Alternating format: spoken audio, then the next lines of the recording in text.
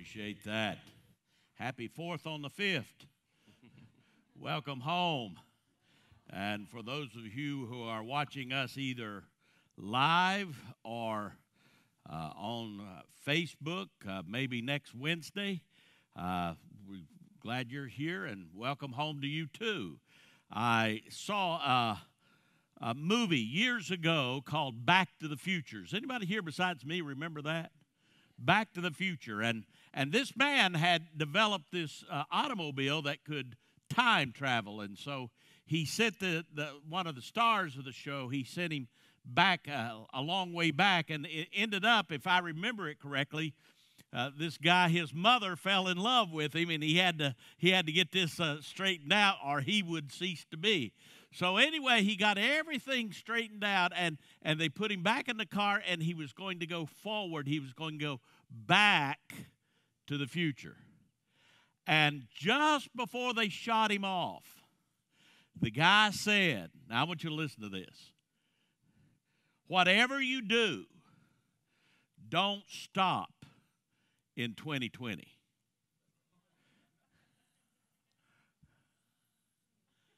Whatever you do, don't stop in 2020. Now, as of last week, you've got 2020 about half over. And now you've got the future of 2020 and you have all these people, all these politicians, liberals and conservatives alike, saying we're going to make it through this because of the spirit of America and all of that stuff. Well, if 2020's been like this, what's 2021 going to be like? You are in a current that is driving you, dragging, and you don't have a choice. You don't have a choice. They have, the government has interceded in your everyday life. They even tell you what to think, what to wear, what to say. Every, everything is turned upside down.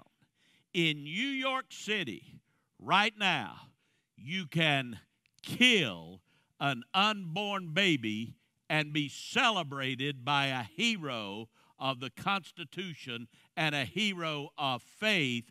But if you don't pick up your dog's byproduct, you can be arrested and fined. We have been turned upside down. And when I was thinking about July 4th, and I was asking God what to do, what to say, I remember World War II. That was probably when this nation was the greatest. And there was a current going along that everybody was swept away. It changed everybody's life. You didn't have a choice. You had to get involved in that because the entire world was involved in that. And a few years ago, a man by the name of Ken Burns did a documentary on, yeah, PBS, if you can believe this. Never happened today. But he did a PBS on PBS called The War, where he followed four families. And in that particular documentary, there was a song called the American anthem, which we have people who don't like our national anthem. This is the American anthem, sung by Norah Jones. And the first verse says, All we've been given by those who came before, the dreams of a nation where freedom would endure. The work and prayers of centuries have brought us to this day. What shall be our legacy? What will our children say?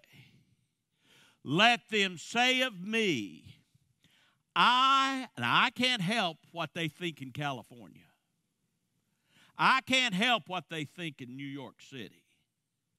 I can't think what they, I, I can't help what they think in Raleigh, North Carolina. And I can't help what they think anywhere else, but I can help what I think. I was one who believed. I'm sharing the blessings I received. Let me know in my heart when my days are through. America, America, I gave my best to you. Let me, let them say of me,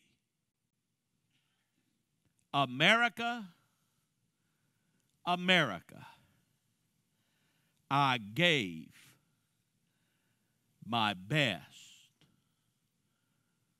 to you. And that video ends with some Marine in a ditch who has died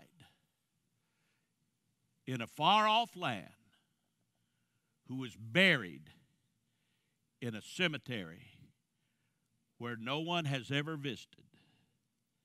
America, America, I gave my best to you.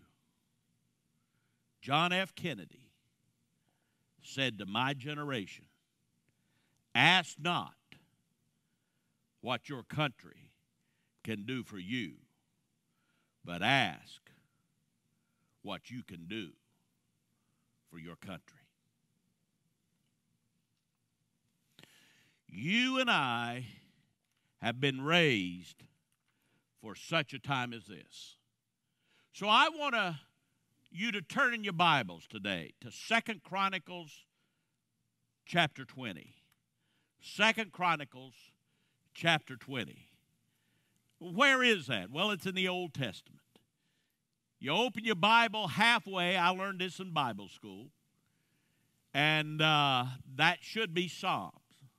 Of course, if you've got a cell phone, it's no problem, is it? And bless your heart, I use mine. I have I have multiple Bibles on my cell phone, and I read that all the time. Second Chronicles chapter 20. Never in the history of this world have we seen the issues of destruction and people yearning to go back so we can come up with some sort of a system, some, some foundation that we can go back, back uh, forward for a better way. And, but we have people, people in the church, people in government, people on both sides of the aisles, people in the streets, people uh, on the television, people in the newsroom. They have no vision. They can tell you what's wrong. They can tell you what they don't like. They can tell you what they want to tear down. They can tell you what they want to get rid of, but they have no future for, no vision for tomorrow. I don't need to tell you what the news is saying. I don't need to tell you what I hear on the weather. Uh, but I do need to tell you there is a trumpet of eternity that is sounding in heaven. And that trumpet is saying, Jesus is coming. Jesus is coming. And Jesus is coming soon. If you look beyond the news, if you look beyond the future, if you look into eternity, Jesus is coming soon. And when he comes, he said, Will I find faith upon the earth? When Jesus comes, will he find faith in your heart, in your life, in your church, in your home? In your day to day type of, of activity. First thing I want you to see is a day of disaster. A day of disaster. By the way, there is a solution to the disaster. A day of disaster. Second Chronicles chapter 20, verse 1. After this, the Moabites and Ammonites, and with them, verse 2, some of the Meunites came against Jehoshaphat. He's the king of Israel, by the way, for battle. Some men came and told Jehoshaphat, now here you go, here's the news. A great multitude is coming against you from Edom, from beyond the sea. And behold, they are in Hazazon Tamar, that is Engedi. That means they're really close. They're just down the road. It, it was in ancient Israel. You, you got to know a little bit of the history to understand the spirit. And the tribes of the deserts, the Ammonites and the Moabites, who were descendants of an incestuous, yeah, you heard me right, incestuous relationship by Lot, the nephew of the father of a faith, Abraham. And if you don't know who Abraham is, ask any Jew and they can tell you. Ask any Muslim and they can tell you. He's Lot, the nephew of Abraham. He had looked at Sodom. Sodom and Gomorrah was, was uh, uh, prototypical for what the United States of America is today. He had looked at Sodom and Gomorrah. He had moved toward Sodom and Gomorrah. He had moved outside of Sodom and Gomorrah. He had gone into and built a house in Sodom and Gomorrah. He lived in Sodom, and Sodom had gotten into him and had gotten into his family. And God sent an angel of the Lord as a result of the prayers of Abraham sent angels of the Lord and said, I'm going to destroy Sodom and Gomorrah, a Lot. They're totally bankrupt. They're a plague upon the earth. They're a spiritually toxic waste dump. And Lot, you better get out. And Lot family his sons and his daughters had married into Sodom. They had gone to school in Sodom. They had bought into the lifestyle of Sodom. They had the value system of Sodom. And they said, No, we're not leaving. And every one of them were destroyed.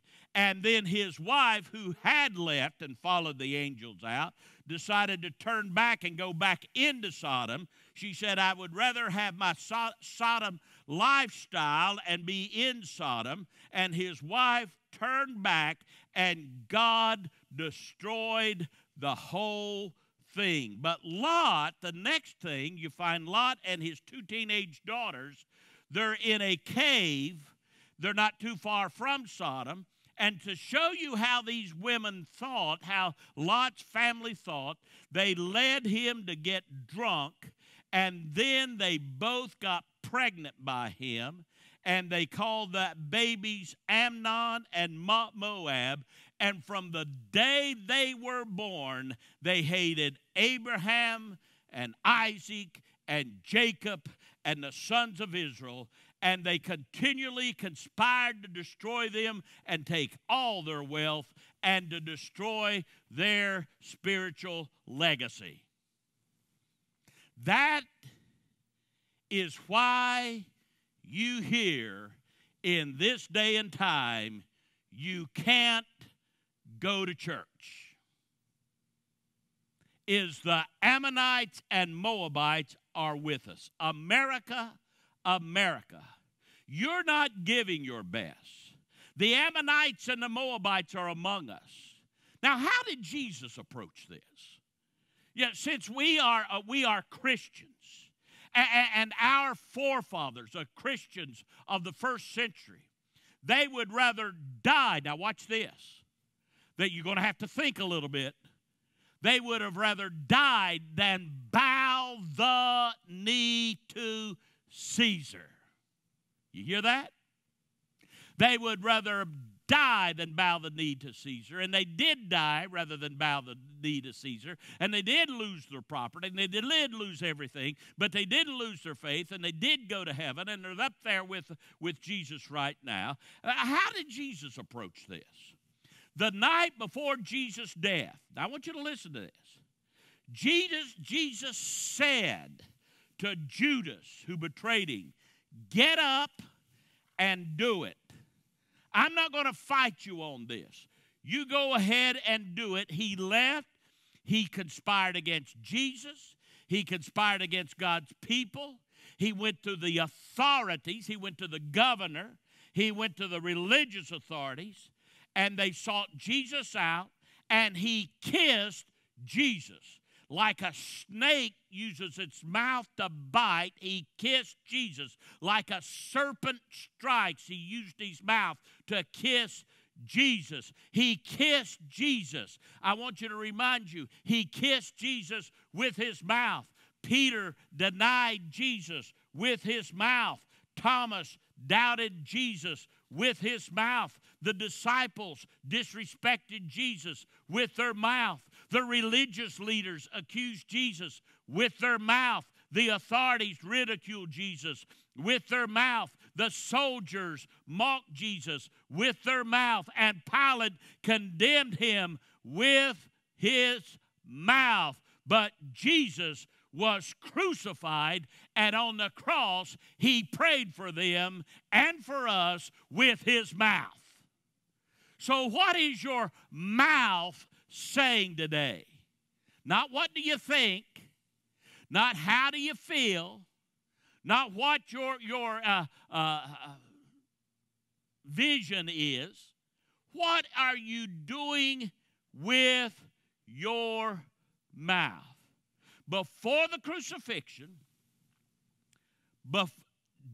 before the garden, looking at Jerusalem, and on the cross, and after the resurrection, Jesus prayed for his enemies.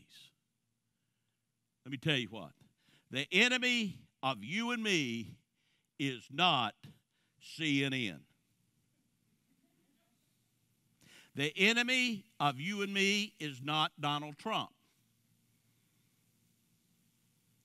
The enemy of you and me is not Obama or Nixon or Clinton or Bush. They are representatives of a system authorized and run by our enemy.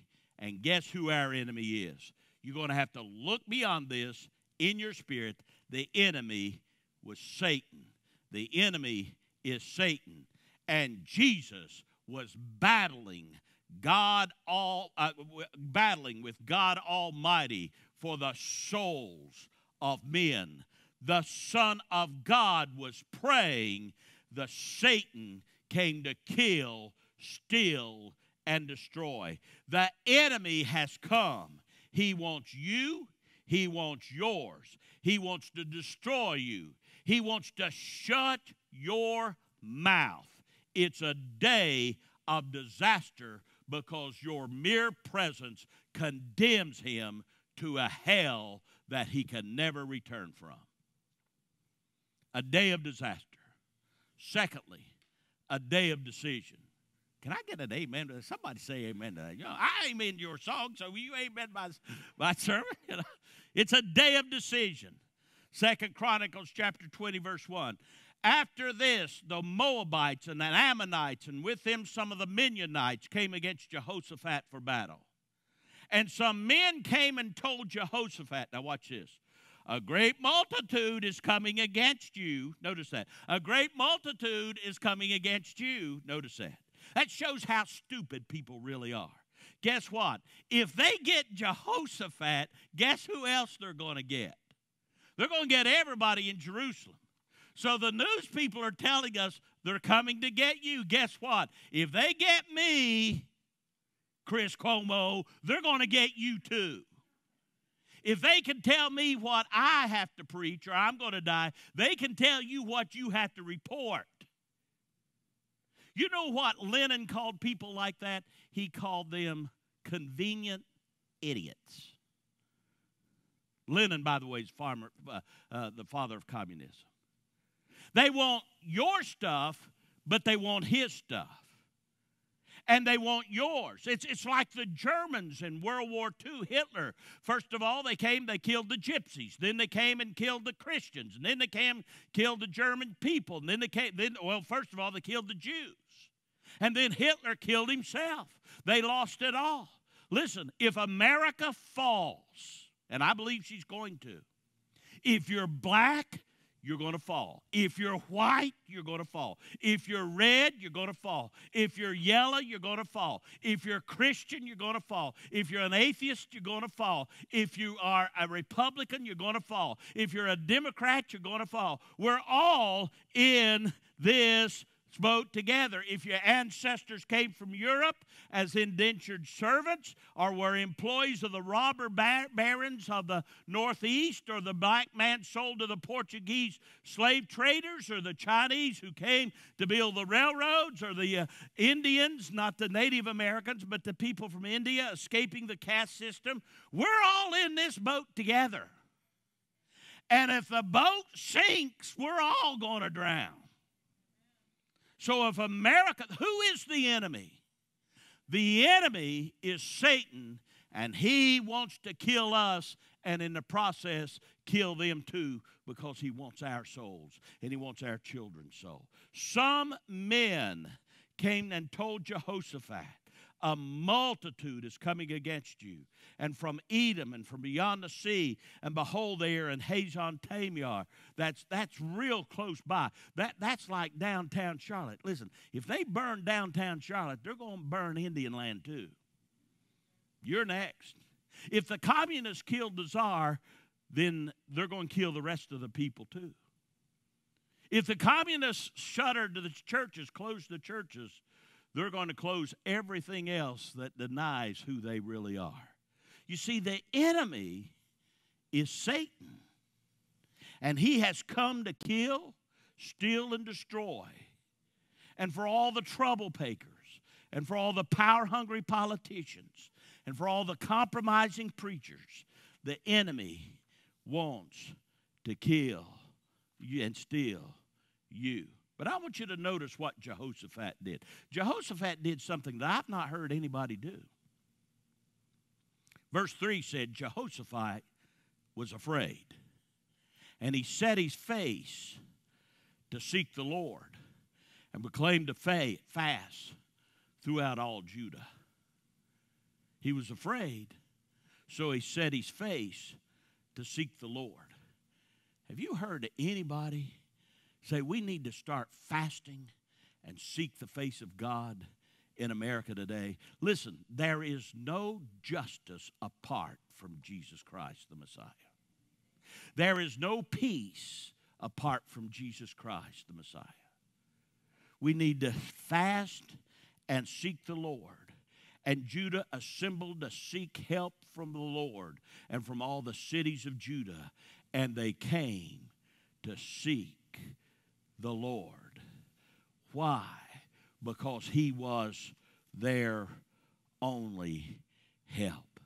I wish I could play you that American anthem and show you Norah Jones singing that song, and it is against the backdrop of World War II. But this is what the second verse says. I can't do that because of copyright things. Uh, before I married Phyllis, I could have played it and pled ignorance, but now since she is the legal analyst at INSP and she does all the compliance officer, she says, You can't do that. You're breaking the law and you're going to get fined and put in prison. For those who think they have nothing to share, who fear in their hearts there is no hero there. No, each quiet act of dignity is taught which fortifies the soul of a nation that never dies. Let them say of me, I was one who believed in sharing the blessings I received. Let me know in my heart when my let me know in my heart when my days are through.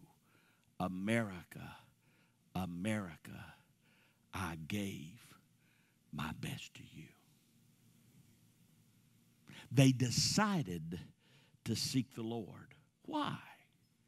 I want you to listen to this. If you don't know anything else, listen to this.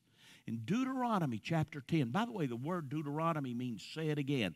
God has said this again and again and again and again. God says, Behold, behold. That means you better you better get this. I want to give you a blessing today. Listen, I want I, I want to give you a, a blessing today. I want you to I want you to know something. Deuteronomy chapter 10, verse 14. Behold, stop what you're doing. Uh, that's why we have church on Sunday. That's why we have a Sabbath day on Sunday. That's why we, we, do, we, don't, we don't play golf and lay in bed and watch television and go to football games and everything else on Sunday. We come to church. Behold, stop what you're doing that's why we, we have Sunday school. Stop what you're doing. That's not a suggestion, that's a command from God. Behold, to the Lord your God belong heavens and the highest heavens, the earth and all that is in it. God owns everything. God is everything. God, God created everything. Satan will come and says, I have all the power. And, and God says, Well, if you're so great, create something.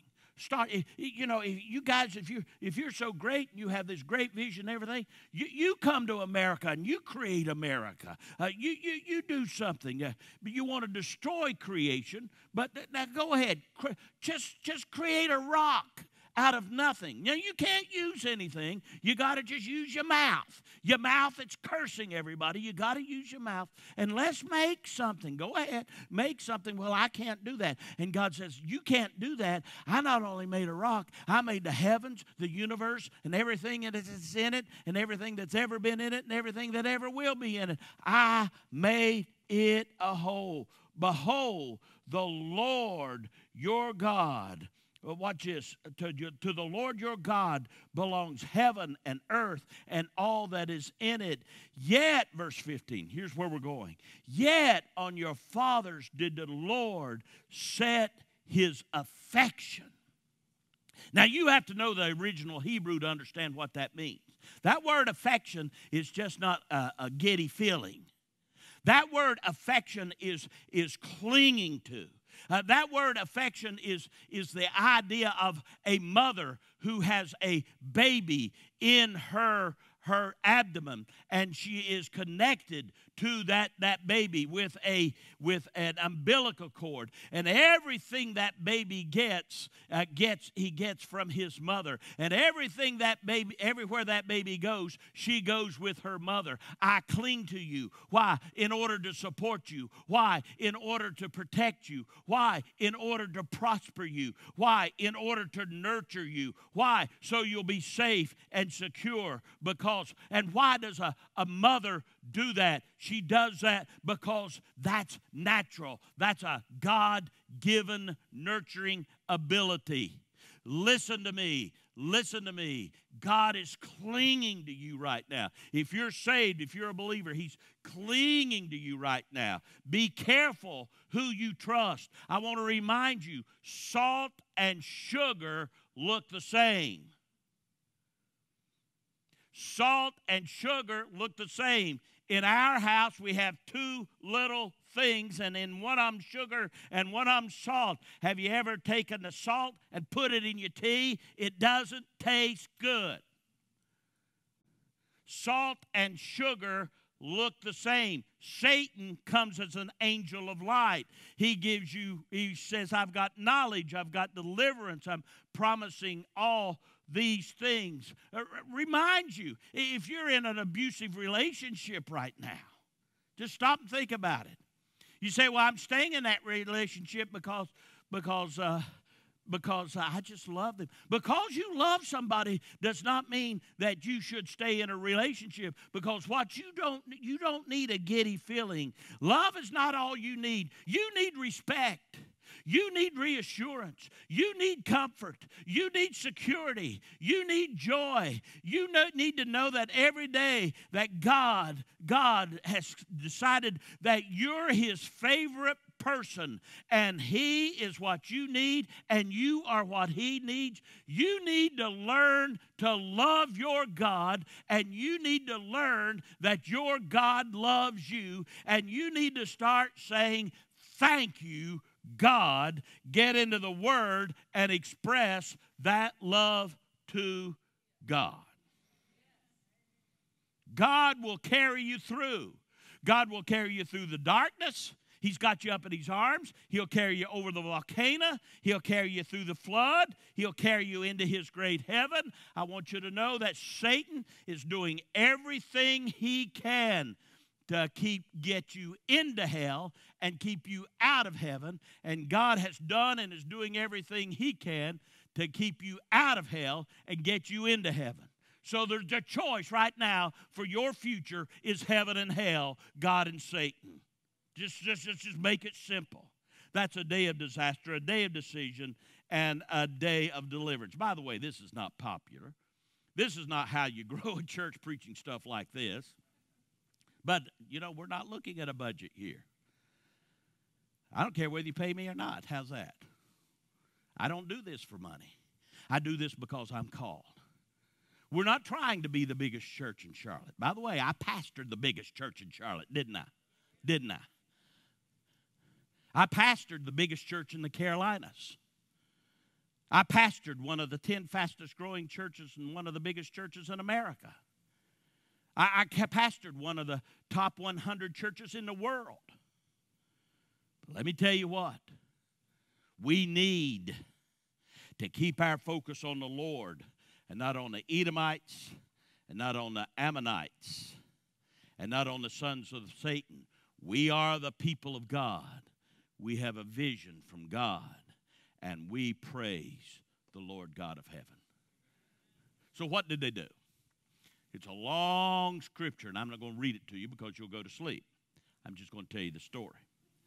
A prophet, a preacher, some little old guy that had been turned out of a big church dared to stand up in the middle of the square in a no place in Jerusalem, surrounded by the enemy, and said, This is a word from the Lord. Tomorrow, I want you to go out. And I love this part. I love this part. Don't put that officer of the United States Navy like I was out in the front. Don't, don't, don't put him out in the front. Don't send the Marines in. You know what he said? He said, put the choir out in the front. Sitting the choir down there. Now, I, I, can, I can get in on this, buddy. God, because I, I have never been a part of a music ministry. I, I, I can't sing. So send them down there and let them sing, you know. You say, well, that's the stupidest thing I've ever heard. I know it. That doesn't, uh, you, you, know, I would say, all right, get you, get, get you a bunch of Abrams tanks and get you some, uh, uh, some Apache helicopters and get, get, you, get you some ammunition and get you some artillery, soften them up and go down there and just surprise them. You know, I, I would have done that. And he said, no, put the choir out front and let them go down there and the people started thanking God, and the singers went before and they started praising God. And the Edomites and the Moabites and all the otherites went absolutely crazy. And rather than tearing down the temple, they turned on each other. You see, when you start using your mouth, to praise the Lord and not complain and grumble, it drives Satan crazy because he does not want you to be happy. He does not want you to be successful. And he does not want God to be praised. And they praised the Lord, and the Edomites and the Moabites turned on each other. And the people of Israel, what was going to be an economic disaster, went in and they got all their gold, they got all their silver, they got all their clothes, they got all their belongings, and they got all their food. And it was one great day in Jerusalem. When Abraham Lincoln was in the darkest days of the Civil War, he prayed. He went to church. He went to that church across the street and he prayed. They actually prayed in that church during that time. He prayed. And he said for the nation, we need to pray. He said not only to the north, but to the south, we need to pray. We need to pray. When we stormed the be- beaches of Normandy in World War II, Franklin Delano Roosevelt went on on the radio and said we need the churches were packed with people praying. When George Bush number 1 turned our military might against Saddam, Saddam Hussein the first time to kick, kick him out of out of uh, out of out of Kuwait. He he wanted us to pray, and the churches were packed with people praying and praising God. But today, the news media, the politicians tell us to go to the streets and kill, steal, and destroy. Who, America, who are you following today? I want you to bow your head and I want you to close your eyes.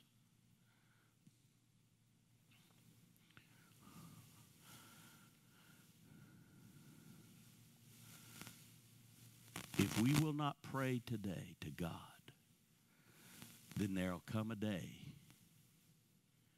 There will come a day, according to the Bible, when all we have to do is pray, but there won't be anybody listening. It'll be over. So today, will you determine in your heart and your soul that you're going to pray? You're going to be thankful to God. You're going to start off by just being thankful for God and then praise God for what He has done and what He is doing. Praise Him because He's clinging to you. Praise Him because He's holding you. Praise Him because He's got His arms around you. Praise Him because He's got you in His heart. Praise Him because He's got you in His bosom. Praise Him. Praise Him. Praise Him. Your family might not praise him, but you do. Your family might curse you for doing that, but you praise him because he is not your help. He's your only help.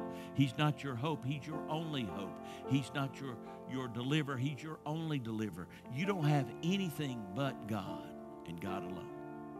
So praise him and pray to him and be thankful to him and gather together and encourage one another to pray, not grumble, pray, not complain to pray to God for the great blessings that He has bestowed upon us and the, and the blessing of His presence. Father, during this time of invitation, I pray that we would, we would be thankful and we would praise you today, for it's in Christ's name we pray. Amen. Standing as we sing our invitation, I want you to, I want you to just pray. And if you need to make a decision concerning Christ, then pray. Pray today.